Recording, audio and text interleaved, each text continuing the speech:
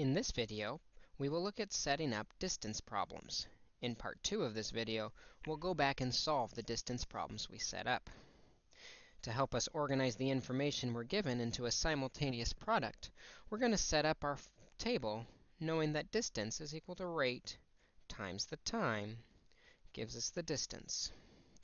This will give us a simultaneous product which we can solve by dividing by what you want. Let's take a look at some examples that we can set up, and then in another video, we will solve. In this video, a man's riding his bike to the park 60 miles away. We know rate times time equals distance, but we don't know the rate he rode in his bike, and we don't know the time it took him to get there. All we know is the distance was 60 miles away. We are told his return trip he went 2 miles per hour slower. This means the rate has decreased by 2, and as a result, the time took 1 hour longer. The time is increased by 1. It is still the same distance, and so we see we end up with a simultaneous product, rate times time equals 60, and rate minus 2 times time plus 1 equals 60. In order to start solving, we will divide by what we're looking for. The question asks how fast did he ride to the park? So we will divide by the rate on both equations.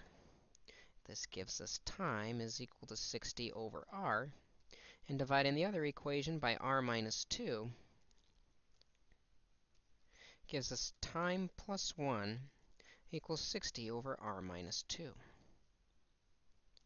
We are now ready to make a substitution with the time into our equation. Replacing the time with 60 over r plus 1 will be equal to 60 over r minus 2. And this gives us a rational equation we can solve to find out how fast he rode to the park. We will come back and solve this equation in part 2 of this video. For now, let's take a look at another example. Here, a woman is driving through a construction zone for 45 miles. We know rate times time equals distance, and we do not know the rate she drove, or the time she drove that rate, but we do know the distance she covered was 45 miles. She then realized that if she had driven 6 miles per hour faster, this means she is increasing her rate by 6, r plus 6. She would have arrived 2 hours sooner. This is our time minus 2 equals the distance. She is still considering the same distance she actually traveled, and so that distance is still 45.